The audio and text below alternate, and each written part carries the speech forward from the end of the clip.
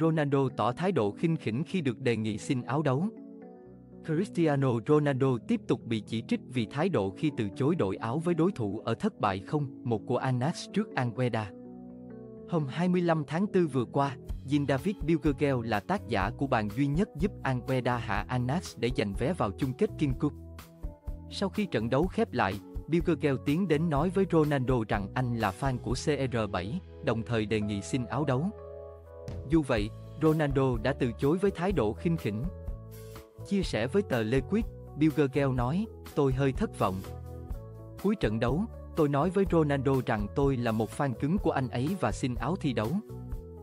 Ronaldo bắt tay nhưng mặt không thực sự nhìn vào mặt tôi, với một thái độ rất khinh thường. Tôi vẫn còn nhớ những video tôi xem về Ronaldo khi anh ấy còn ở trường đại học. Tôi hiểu anh ấy rất thất vọng sau trận thua, nhưng thái độ của anh ấy khiến tôi ngạc nhiên.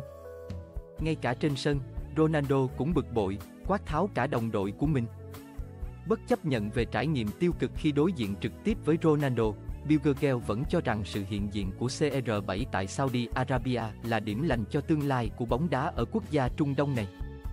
Ngoài khía cạnh kinh tế, điều chắc chắn sẽ tích cực, tôi nghĩ sự xuất hiện của Ronaldo là điều tuyệt vời cho bóng đá Saudi Arabia.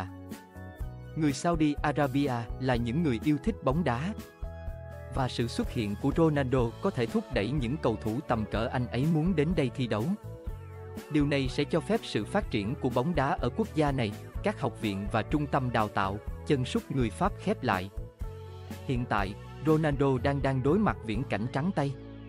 Anas từ khi Ronaldo đặt chân tới đã bị loại khỏi King Cup, Saudi Super Cup và giờ có nguy cơ không thể vô địch Saudi Pro League.